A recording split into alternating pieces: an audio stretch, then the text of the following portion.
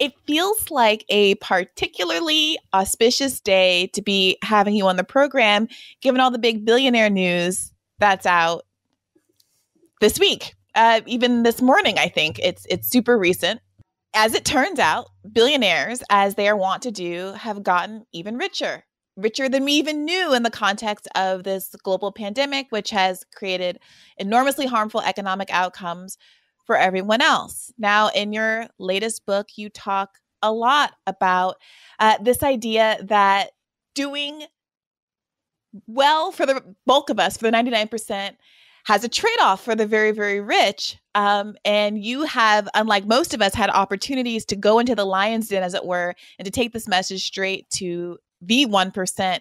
What do you make of today's news? Um, well, you know, there's been, as you said, a bunch of different things. I, it's hard for me to even keep track of like which one you might mean, but one of them, I think I saw that billionaire wealth, uh, the top group went from 8 trillion to 13 trillion, not in the last century, not in the, the lifetimes of the people on this podcast right now, not in the last administration, uh, in the pandemic, just in the pandemic. Um, so billionaires didn't survive COVID. They won COVID. Yeah. Right. COVID's not a game, but they won it anyway. And they won it um, in part because some of the companies they own, unlike most small businesses in America, actually did a lot better. Um, and some of that is demand. Some of that is like more people buying stuff on Amazon instead of stores. But a lot of that is the fact that the rigging they invest in um, on sunny days really, I mean, it pays off on sunny days too, but it really, really pays off on rainy days, right? So if you are um, rigging the system through political campaign contributions and um, you know lobbying for bottle service public policy that benefits you and your friends and hurts most people, you benefit to you know by by for example staving off antitrust scrutiny and remaining a monopoly. You benefit from that at all times. But if a pandemic strikes you're that that the value of having staved off antitrust scrutiny the value of being a monopoly is so so so much more.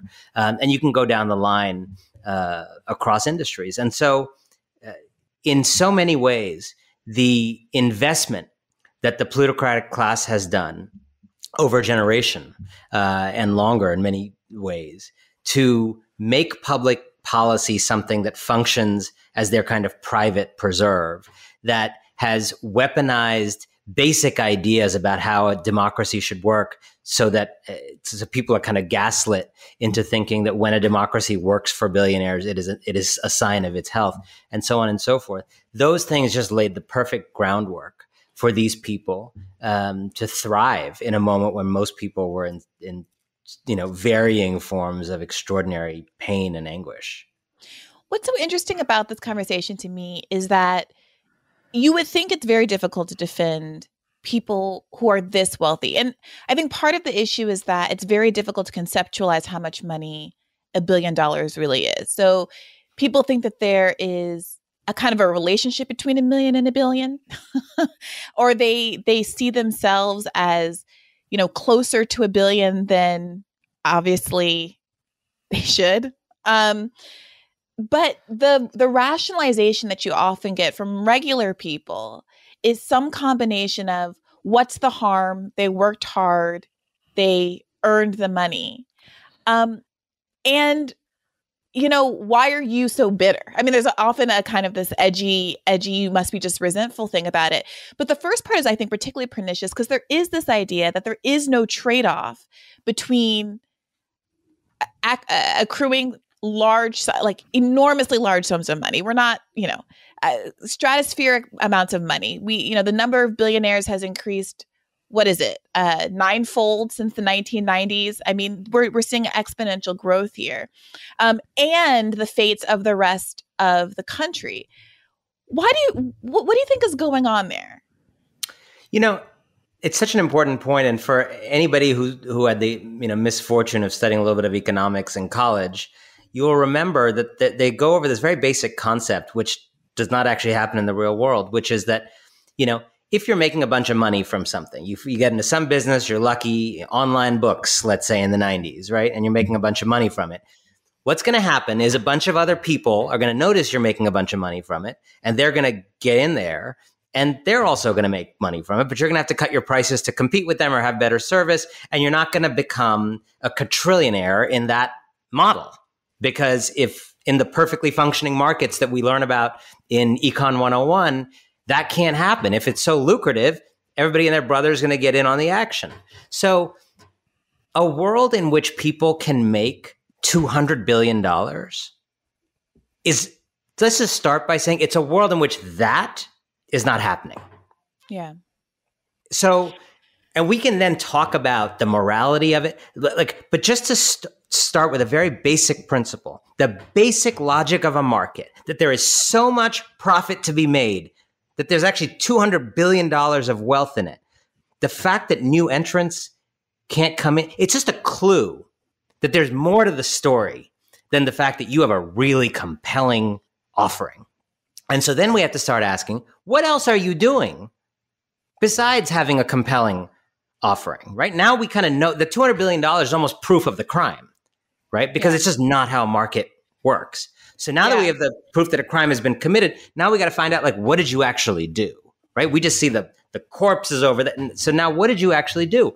And it turns out in virtually every case I've ever heard, uh, if you start doing enough digging, it turns out they did do some shady stuff to get there. And the shady stuff runs the gamut, right? I mean, there there is outright shady, shady, murderous stuff like you sold opioids to, you know, hook people. You knew it was having very harmful effects. You kept doing it anyway. That's kind of on one end. And then there's like companies that are, you know, think of themselves as being very woke and they may put, put you know, black squares on Instagram last summer and this and that. Right. But they lobby for tax policies that benefit them at the expense of others. They lobby against any kind of minimum wage increase or other uh, things on wages. That when it, when Obamacare was under discussion, they lobbied to weaken that. Medicare for all, they lobbied to stave that off. Um, they push at every level um, of culture, of politics, of through their philanthropy, push for a world of privileges and immunities, and then they use the outsized wealth that would never actually accrue in any functioning market as proof of their brilliance. When in fact, it's literally just proof that there was no market. Yeah, there was no market. Fortunes like this are proof that no market was operating. this is this is what was so interesting to me about the book because I confess you you describe a world of people who are kind of brought up to believe you can do good by doing well. And that is 100% the world I was inculcated in through my education. And I can't tell you how many people I had conversations with as we were graduating and the standard was, you know, you were trying to hustle hard to work for McKinsey or Bain or BCG and I like famously flunked all of my consulting interviews because I didn't know what APR was and just like didn't have a clue and I felt like such a loser because everyone knew, that the smartest kids were going to go work for a consulting company and you were going to do it maybe they knew of- you before you fully knew yourself maybe although i will say one interviewer I, I think it was maybe at mckinsey they had asked me a question I was clearly just flailing. And I said, You know what? I see here on your resume that you do editorial cartoons for the Crimson. Can you draw me something? And I spent like the last five minutes of the interview sketching, so we didn't have to talk to each other anymore. Oh my gosh! Um, that was that was a real low point, but obviously uh, for the best. But the thing that's interesting about the book that I think, to me at least, is that the left sometimes will talk about the petty bourgeois. Like that's, I mean, th- th- this is who we're talking about this this class of oftentimes first or second generation bourgeois, but people who really do believe in the narrative that there don't have to be any trade-offs between their kind of personal successes and accumulation of wealth. And obviously, this is a very different scale than what we're talking about with the billionaires, but that the choices that they're making in their lives don't come as at a consequence to anybody else. And there's this idea that charity or philanthropy in particular can be a release valve that restores any imbalance that they might acknowledge on the periphery. Can you talk about that a little bit? I, I think it's it's so core to the discussion. You know, I I think with any book, it's about a hundred ideas, not one idea. But if I had to pick like the one idea that the book is about, it is a it is trying to slay the notion of the win-win. Right. And if you like I was literally reading some old clips of like um, democratic socialist politicians and like it's amazing how many of them like use the word win-win casually, right? It's it's just like such mm. a casual word in the culture, and it's not necessarily a bad word depending on what you mean, but it's just become one of these like articles of faith in the culture and these kind of phrases that people use. And when it comes to things we're talking about, the win-win means exactly what you said: that it is possible to do well by doing good. In other words, um, I can run a new kind of hedge fund, not the old kind. That was hmm. bad. I can run a new kind of hedge fund that centers the poor, helps the environment, fights anti blackness, and makes amazing returns for shareholders. In other words, I'm aware that there are problems. I'm not an asshole. Like, I'm aware that there are problems. I'm aware that the old thing wasn't good. There's a new way where I can win, win, right? The society can win, I can win. And then you see that for, you know, social venture capital, all these things in finance. Then you see it with you know everything from Tom's shoes to when you go to Walgreens and it's like a dollar for this cause that you're going to do.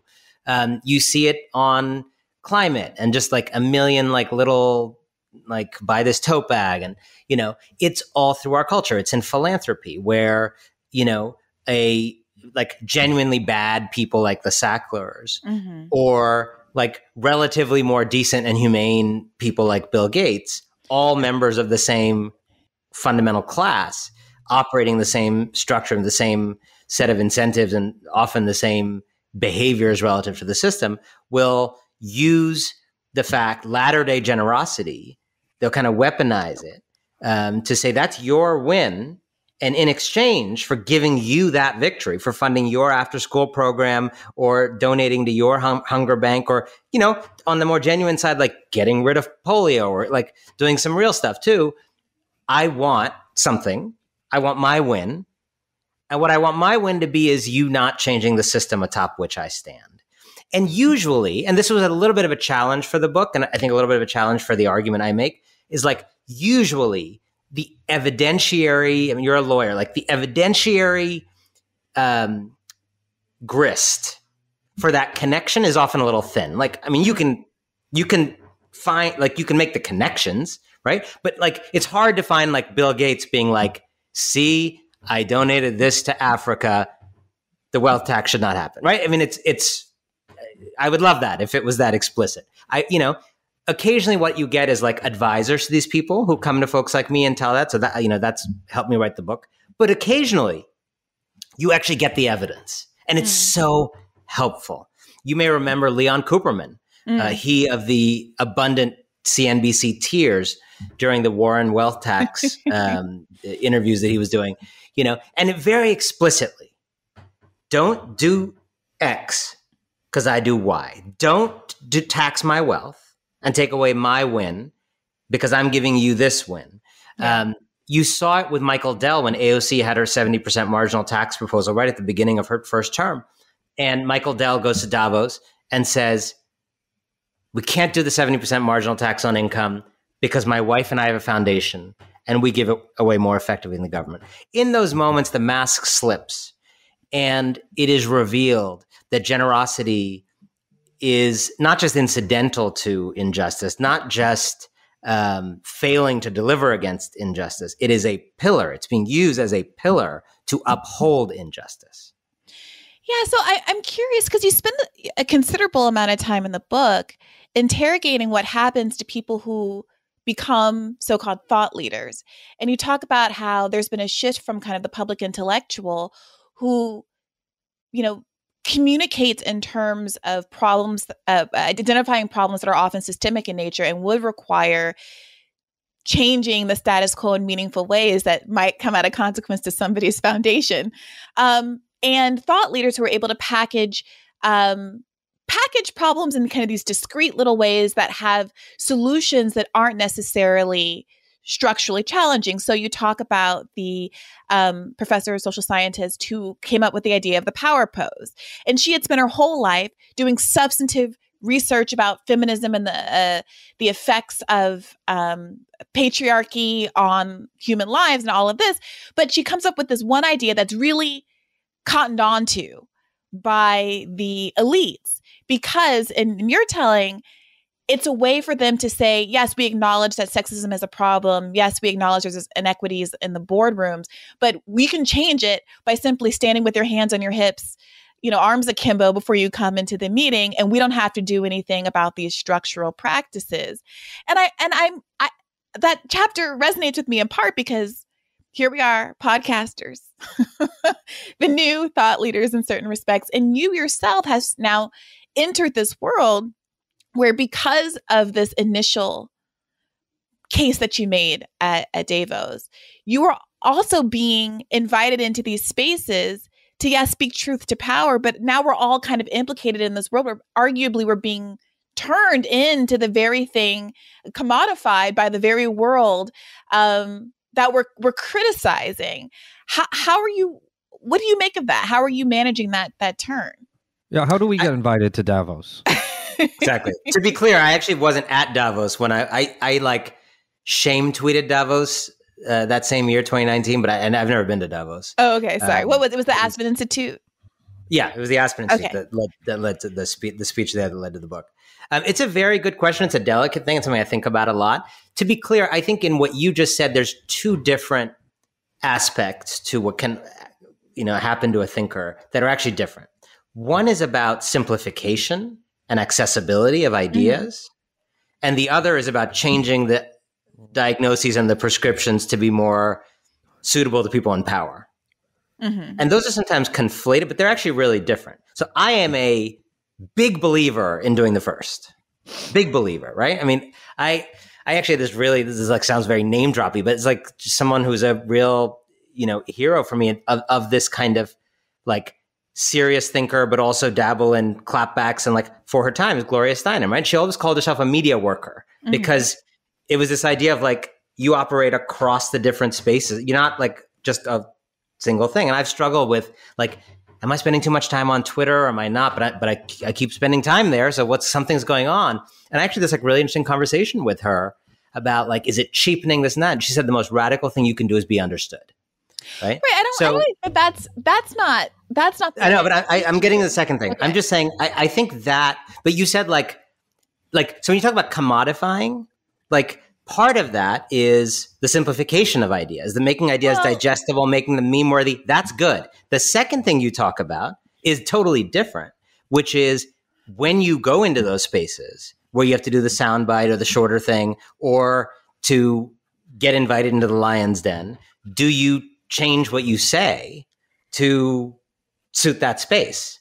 Right. And that, while I do the first thing vigorously, I try not to do the second thing at all. I can't say I succeed all the time. But, but here's but what I, really liked about what you said in the book. You acknowledged and you interviewed people who were self aware right? Um, there was the one journalist who had written critically about Hillary Clinton's speeches and the corrupting influence of them, and mm-hmm. then found himself doing giving a lot of speeches as part of his own um, you know professional trajectory. And you know f- deciding saying saying to you that he didn't feel like it had a negative impact on his own message. And maybe it maybe it has maybe it hasn't maybe it nipped away at the end but at the at the edges rather. But you seem to articulate some skepticism that one could have kind of as doing these you know being in these kind of spaces could have a, a zero effect on you, right? Whether it's simply just because you're around people who think a certain way and you sand off the edges just a little bit because you become friends and colleagues with folks and you don't want to hurt their feelings and you don't want to feel so adversarial all the time. And we deal with this in journalism, right? There's a lot of accusations going around right now about whether this media person or that left media person is pulling punches about crit- critique of some of the squad members because they want access to them. And I think it's, you know, it's not necessarily helpful to think of it always as this person's like selling out but these are really these i think are really sincere pressures that everyone has to deal with no matter how well intentioned yep. I, I think that's right, and I think I think for me it is a lot about how you make your case and not what case you're making.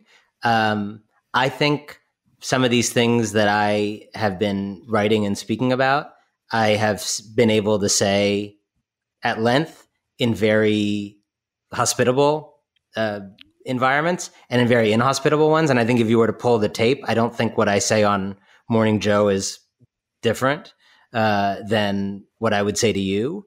Um, I think what would be different on Morning Joe is I would probably be working harder to hook into frames that the people around the table or people in the world watching that have intuitions they have. If my if i assume they don't share some of my prior assumptions i might make a pitch for the things i'm talking about as being you know profoundly unpatriotic to have a country so oriented to billionaires. Sure. I may not need to make that pitch to you because you generally don't think the billionaire led, you know, plutocracy is the way to go anyway. It's an easier lift to you. But if I'm talking to uh, that kind of audience on television or you know in the in the physical world when that's possible again, uh, I think a lot about, and this is not about politics so much as about writing and art. I think a lot about the fact that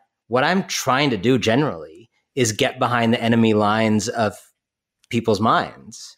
You know, um, people who are generally sympathetic to what I'm saying or they, they make me feel good, but they're not they're not super useful to what I'm trying to do as a writer. Um, and I'll give you a different example apart from the the uh, issues of, of wealth and plutocracy that always that really was a lesson for me in this. My so Winners Take All is my third book. My second book is called The True American, and um, completely different type of book because it's just a it's a it's nonfiction, but it's a true story of two guys in Texas and white supremacist who shoots a bunch of people after 9-11 you know, people he thinks are arab terrorists uh, three south asian gas station mini mart workers. Two of them die one survives. The survivor is blind in one eye but lives feels grateful, rebuilds his life in America, feels grateful for having been able to do that despite all that happened to him, eventually forgives this white supremacist who makes it to death row and fights to save his life. It's a wild story, these two men. And in telling this story, it was so zoomed in, unlike Winners Take All, which is more macro. It was so zoomed in. It was very much a hidden argument for a pluralist America. It was a, you know, dismantling of of like Trumpism before there was Trumpism, this kind of mm-hmm. resentful, downwardly mobile white guy in Texas who, you know, saw the existence of other people as a threat to him, uh, to his being, and so on and so forth. But in that book, unlike many of my other writings, all the ideas were hidden. They were there, but they were hidden. In fact, in some cases, they had been written. And I actually did one of the many edits I did in that book. I like did a idea removing edit. I mean, they were all in there, but I kind of like boiled them out and left them through, you know, to be to work through the story. And that book, unlike anything I've ever written, got behind enemy lines. There were all kinds of fundamentalist Christians who were like, mm. I've never seen Islam in this way. It made me real, you know, these Muslims are really like us. They they just they believe in God, they care for their families, this and that. And it made me realize how in a lot of the rest of my writing and advocacy, like I'm not getting there when I could get there. Um, so I don't always try to do that kind of story. Um, I still try to do a lot of narrative based stories, even in Winners Take All, though it's several mm-hmm. people, not one or two. Yeah. But part of how I think about that is you want to hook into these intuitions that people have when they're not necessarily your intuitions. Yeah, I, I think that Winners Take All is very effective in part because you resist coming out and saying, you know, billionaires are bad and, and this is why. You, the story is very much told, the tensions are very much told through the eyes of people who, in many ways, have bought in to the system already, who've, who've done the McKinsey circuit, who went to B school or what have you, and then began to challenge their own beliefs, often after they've uh, accumulated wealth and are now considering what they want their life to mean more substantively. And so to the extent that you this book is trying to reach those people or people who are sympathetic to those folks who wish they had those opportunities, um, it doesn't come off as kind of hostile or it doesn't breed defensiveness. And I found myself reading it. You know, the first person who clued me into your book years ago was my best friend from college, who, after eight years in the Navy, went to business school, worked for a consulting firm, and was reading your book and just hating everything about her life. And I, I go back and forth. I think I'm much more sympathetic than many on the left to the idea that some of these folks can be reached and spoken to and like pulled to our side. In your work, you know, in the years since the book, have you changed your mind at all about how much it's useful to get kind of the upper middle classes, the professional managerial class to buy into the idea that we need a substantive system overhaul, or whether or not we should just stop trying to argue with those people and focus on mobilizing the working class? It's a great question, but I would say it's a little more complicated than that because because having that kind of humanistic approach to the characters who are in that class, I don't think the goal of that or the object of that is to make the book sympathetic to those kind of readers. Mm. I think, you know, m- like a lot of readers at all levels of life are turned off by what they perceive as you know, there's just that human tendency to go to the underdog, right? And even when you're writing about overdogs, it's possible to write about overdogs in a way that turns them into underdogs and turns you, the author, into the asshole. And I get this wrong all the time. Like I will go after Jamie Dimon in a tweet, but because I like cross a line in the way I frame it, somehow I've taken like someone making 25 grand and like turned them into like rushing to Jamie Dimon's right. defense. Haven't you heard he's the nicest of the plutocrats? That's that's what we were told that's exactly, when Bernie did exactly, it exactly. campaign. I got people from from school going, oh, but he's the nicest one. it's so funny. Like I had this, you know, I did this podcast the other day with Michael Cohen, Trump's former fixer. Mm-hmm. And like I was really tough on because he was just like so obtuse on all this like philanthropy stuff and just like, dude, like Eric Trump going to a hospital, like come right. And I was like, I feel like I was like fair on all my like a lot of people responding to that who I don't think were necessarily like like in work working for big Michael Cohen Inc. Like we're just like, you know, I was sympathetic to a lot of what you're saying, but like you were just browbeating him and you like turned me, you know, so I I think that's I think about that. So I'm not trying to say the foundation boss who I write about or the you know person at the Soros thing or the person uh, the you know the young the young woman who leaves the consulting world or some of these you know Bill Clinton these other characters in the book. I'm not trying to pull punches on them. I'm trying to approach it in a literary artistic way mm-hmm. where frankly a very ordinary person in the middle of the country who is not part of that world feels uh, protective more of me than of them.